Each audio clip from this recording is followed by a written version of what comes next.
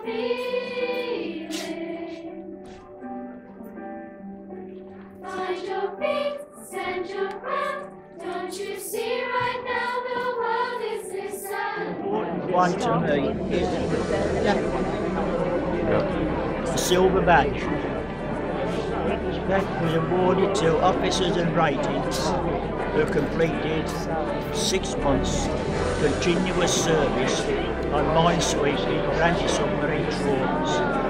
Everything you eat, everything you wear is virtually imported. It comes through on these big container ships. See these big lorries running around with big tank, tanks on them? They're called containers. They're loaded up on the ship and they're carried by merchant ships. We're, we're fortunate, Eric and I, the ships we were on, you know, you landed up in a port, probably there for about seven days to two weeks, unloaded by train.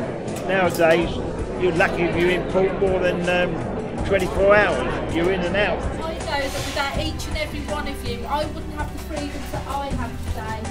I know my children and my grandchildren wouldn't have their freedoms either. So can you tell me what your granddad done? Um, yeah, he was a war fire guard, and every night he used to um, he used to light the oil lamps on the streets. And one night um, a bomb dropped, and a shard of bomb went in his cheek, and he had to have an operation. And he had to have skin on one of his cheeks from another part of his body. And he always made all the grandchildren kisses on other side of his cheek.